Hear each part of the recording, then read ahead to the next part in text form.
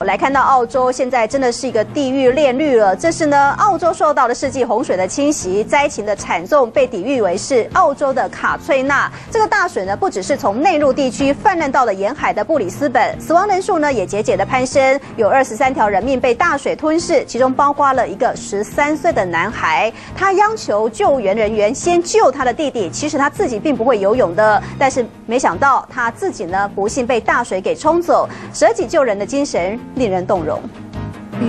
巨浪般的土黄色大水凶猛的吞食车辆。澳洲土屋巴士一个母亲带着两个男孩出门采买上学用具，遇到洪水包围。十三岁男孩乔登虽然不会游泳，也很怕水，却勇敢的要救援人员先救自己的弟弟。The water just kept coming up, and and by the time I got near the car, it just swept me off me. And by that time, I grabbed the boy and. the water just kept coming up.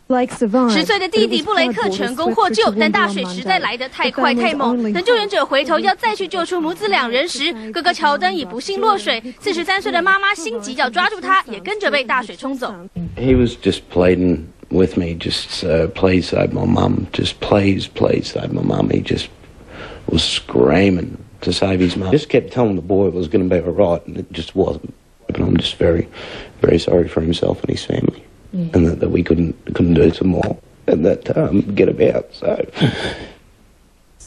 布里斯本遇到四十年来最严重的水患，灾情之严重就像是澳洲的卡崔娜风灾。繁华的商业区被泡在水里，郊区更是只见一片黄色汪洋。当局估计，至今已有两万六千栋房屋受损，将近二十人丧命。而小乔登牺牲自己救亲手足的故事，在这场无情的天灾中更加令人鼻酸。中天新闻卢玉涵综合报道。